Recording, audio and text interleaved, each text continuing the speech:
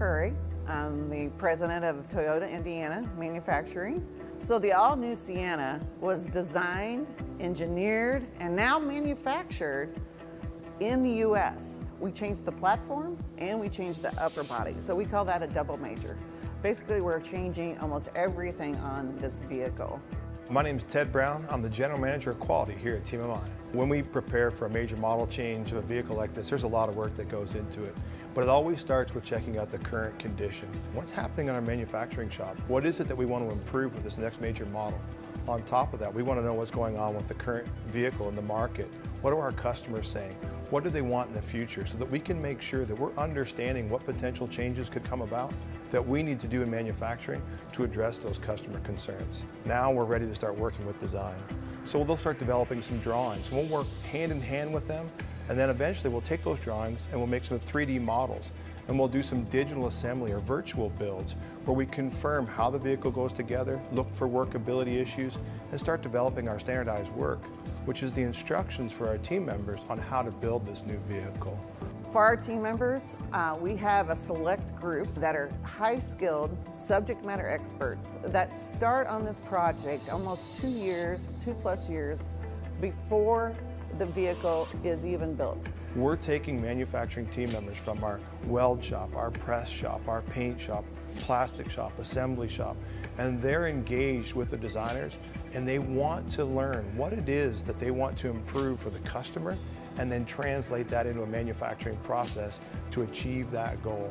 These are the members that are going to be working side by side with the team members that are going to build this eventual new model. So they really become the experts of their area and they bring that information back to their team so they're able to then train those team members on how to build that new model. So when they're over uh, with working with design, learning what the customer experience targets are, translating that standardized work, they come back, they write the standardized work, and then train the team members. Work with them on the line when they're building these trial runs to confirm that we're meeting the expectations that have been set forth. So really, it's a team effort. And, once we get back to the shop floor, it's 100% of the team members engaged. We pull them offline, we show them the new unit, they really get deeply involved and bought into the excitement of this new vehicle. And they work on improving the, the actual manufacturability to the vehicle. So not only do we improve the vehicle itself, we actually improve how we attach parts to the vehicle. So these subject matter experts give a lot of input into design. The next thing you know, we're running trials. Now, this vehicle is produced in our East plant. So in East plant, we produce the Highlander, the Great Highlander, and the Sienna. So the team members don't stop. We, we don't stop running vehicles off the end of the line. We, we actually do this while we're running the past model. So it is quite the feat to do this and keep running a vehicle off the line every 61 seconds. So the team members get their feel of the vehicle and then they can give feedback as we're running these trial vehicles with the past model vehicles and they can give feedback into what do they need to change in their processes and how things are laid out. Uh, so it's amazing what we do to produce a new gen uh, when we're still running the old generation. We'll take units build them up, tear them down, rebuild them on the line over and over again to build that mind and muscle memory so that they know what it takes to build that unit and make sure that they're meeting the customer expectations. Now it's go time. Now it's ready to launch the vehicle and get it out there to the eagerly anticipating customers. And so it takes a lot more effort when you're changing uh, the platform and the upper body. So for us, uh, we've had a one week shutdown really to prepare the final preparations to move the equipment. And now we can take out the old generation Sienna equipment, we can move in this new generation Sienna equipment. We do all that within one week. You know, from a manufacturing perspective, some of the goals that were set for this vehicle were some tremendous fuel economy. So there was a lot of light weighting that went into this vehicle. So we introduced a lot of new technologies for us, like aluminum was something new for us here. So learning how to produce aluminum, how to stamp it, how to weld it, how to join aluminum to the vehicle so that we could realize the lightweighting opportunities to improve the miles per gallon that we're going to get out of this vehicle. That was a big challenge. It was a really neat opportunity to learn about that new technology uh, and the welding processes that go into that. Along with that, we also have a, a brand new resin back hatch.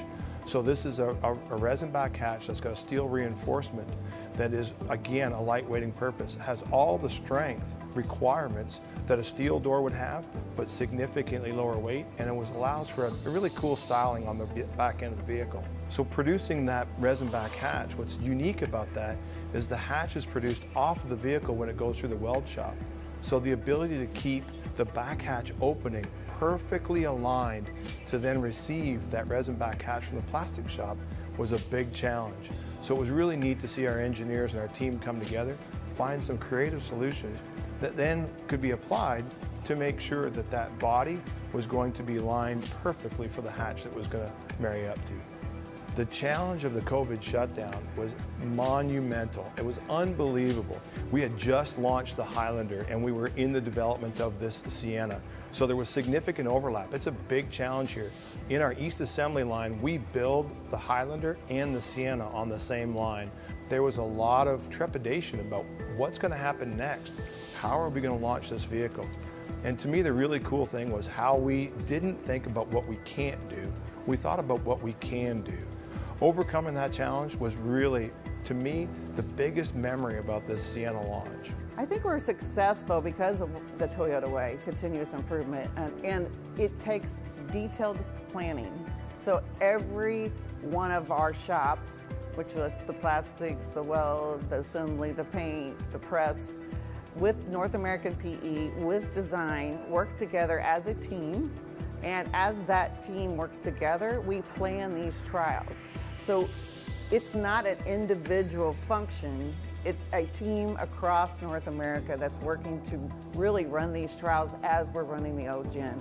So it takes a lot of detailed planning, it's not easy, but it's something that's in our DNA and we want to see how it works with the team members building the vehicle uh, while they're building the other vehicles. And we can, we can actually surface a lot of problems uh, when, when, we run this way. When I see a vehicle going down the road that was built here at TMMI, the first thing that comes to my mind are the team members, honestly. I've been here 21 years and the team that I get to work with on a daily basis really generates a lot of pride in me. So when I see that vehicle driving down the highway, I'm really excited about what our team members were able to bring to the table to bring this vehicle to production because there's a lot of work that those team members put into it, and they take a lot of pride in it.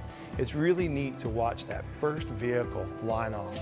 The team members are standing around watching, and they watch it line off. They watch the vehicle start up, drive off the end of the line, everybody starts clapping. It is such a cool moment. So the new Sienna, for me, is absolutely amazing. And I know every single one of our customers and new customers are gonna love it because this new Sienna can really do it all.